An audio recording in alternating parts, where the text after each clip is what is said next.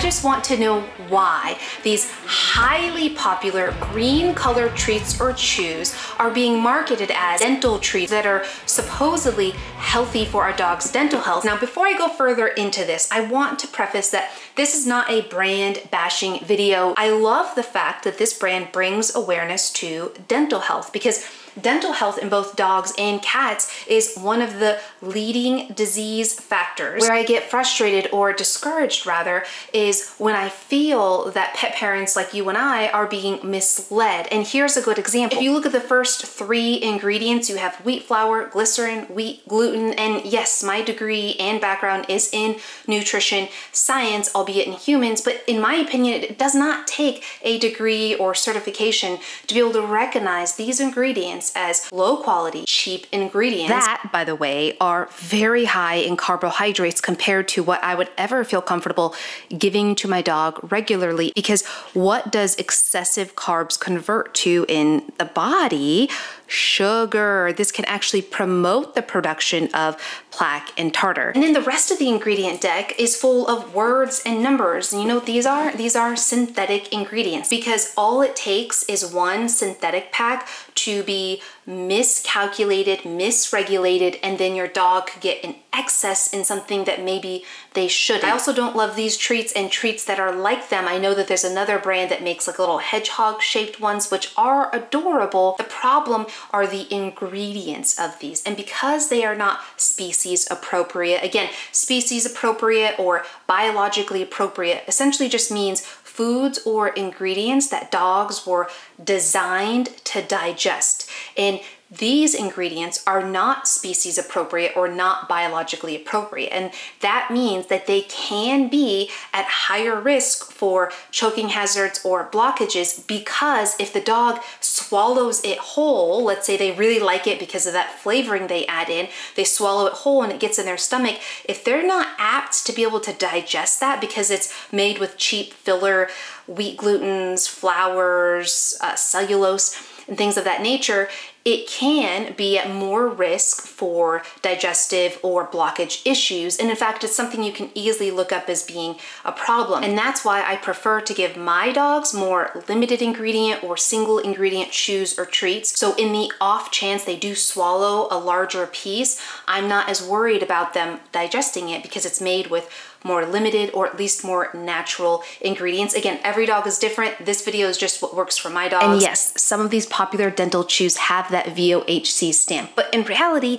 that's just telling me that the texture of the chew can help contribute to scraping off plaque and tartar. No different, in my opinion, than a dog chewing on a branch or tree bark. In fact, if you look at the packaging on both the front and the back, it specifically says that the chewy texture is what helps scrape off the plaque and tartar. So for me, it's more than just what it does, but what it's doing in my dog's body. And then when I dug into what they were really made of and how inexpensive these ingredients are, I realized these are way overpriced for what they actually claim to do, which is just to scrape plaque and tartar off. And that's great if they can do that, but if I can do that with something that's more natural, more biologically appropriate for my dog, that they're probably going to enjoy much more, I'd rather do that, especially because of the carbohydrate amount in these treats. One way you can get a good rough estimate of the amount of carbs in your dog's dry food or treats, for example, is you take all of the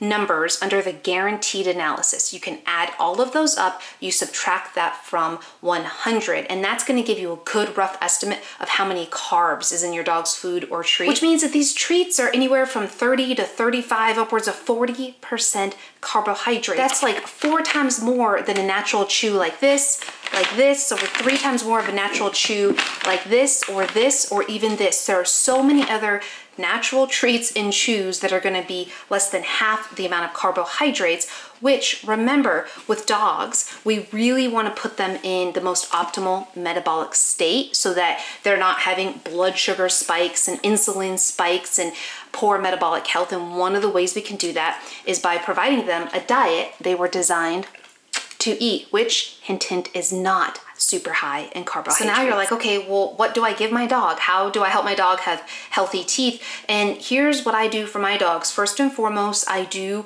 brush their teeth regularly. If you want my DIY toothpaste, uh, you can go to the video down below or wait till the end of the video. In fact, everything I talk about in this video will be linked down below on my shop page. Uh, in addition to that, I feed my my dogs, my diet, I feed my dogs a complete and balanced as fresh as a food diet as possible. That's high in meat, high in healthy proteins, healthy fats, natural digestive enzymes, been as minimally processed and as, as low in carb as possible. Again, I have videos linked below on the specific diets I feed my dog, but that's gonna be a cornerstone foundation of making sure they have healthy teeth and in addition to that, supervised, of course, I give them healthy chews that help them scrape the plaque and tartar away, as well as chews and treats that help floss in between their teeth and massage their gums. A couple examples, again, all of it will be linked below. This is not sponsored. These are all products that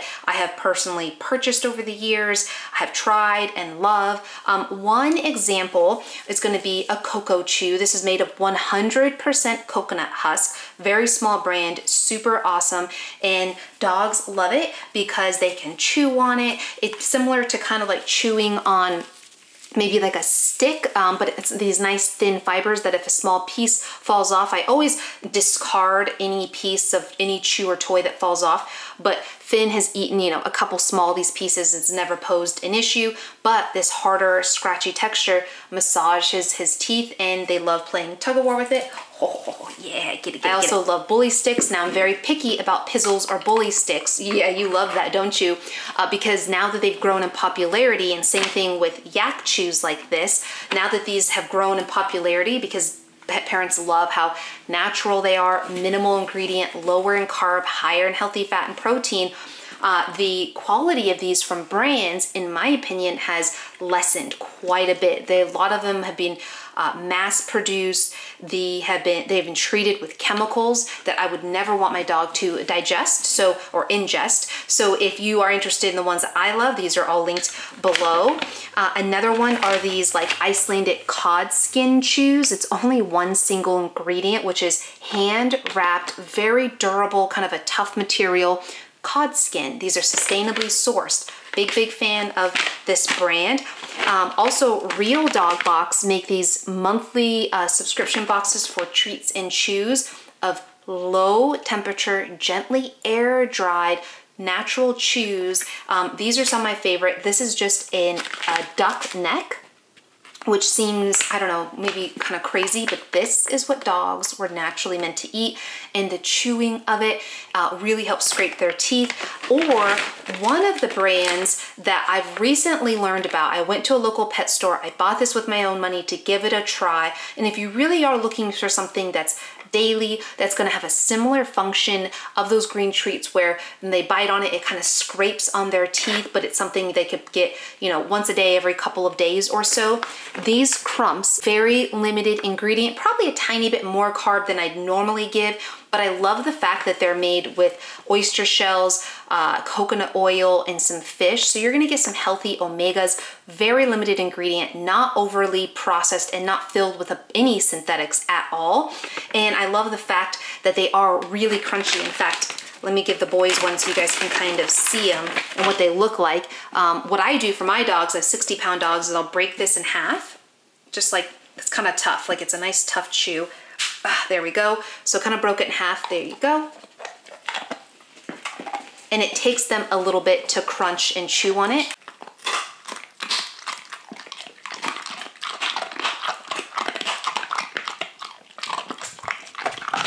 Now, when it came to this one, the one I like will be linked below because there were flavored ones that um, of this brand. Nothing against the brand, I don't know them, um, but I didn't love. So this specific one, which is just the more natural fisherman mix one, is the one I preferred because there was one that had some flavoring that I wasn't a biggest fan of. Yes, I'm a little bit of an ingredient snob, if you will, and I, snob sounds so pretentious. Just, I'm very picky because it is very difficult as a pet parent to navigate the market in today's world, which is why I make the videos that I make, not to tell you what to do, but to help give you as much information as I can so that you can make an informed decision. At the end of the day, you get all the information, you get to make the best choice for your dog. And I actually found that these last longer in terms of like my dog's chewing on it than those greeny treats anyway. So to me, this is like a really easy alternative uh, and it's a smaller company, so you're supporting the little, the little guy. And don't forget, I'm not sitting here judging you for what you do and don't give your dog. In fact,